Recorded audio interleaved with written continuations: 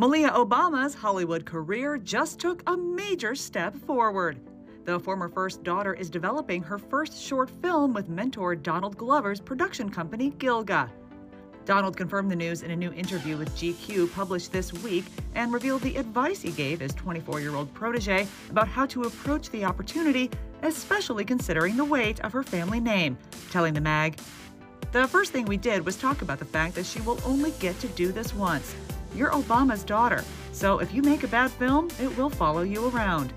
The Atlanta creator and star has been guiding Malia since she joined the writer's room for his current Prime Video series Swarm.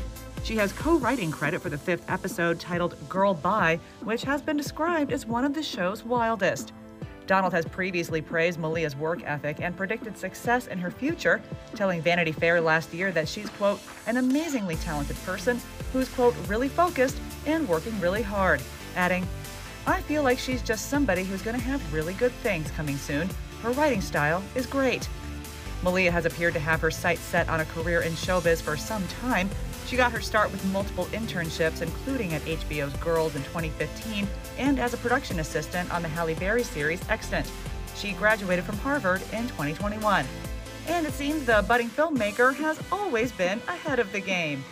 Back in 2008, the Obama family sat down with Access Hollywood for an exclusive interview, and a then 10 year old Malia revealed the social tip she gave her dad. I, I give him advice on how to do stuff, though. We have him. What kind of stuff? Like, remember, Sam came over. It was in. It's in your book. Oh, it is. That's There's this true. whole story yeah. that's in your book. And so my friend Sam, she came over, and so Daddy has never met Sam before. Sam's a girl. Yeah. Uh huh. And, and so, you know, he's like, hi. And so he shook her hand, and I was like, you know, Daddy, you really don't shake, you know, kids' hands that much. You shake adults' hands. And he's like, then what do you do? And I was like, you know, you just wave or say hi. So I do that kind of stuff.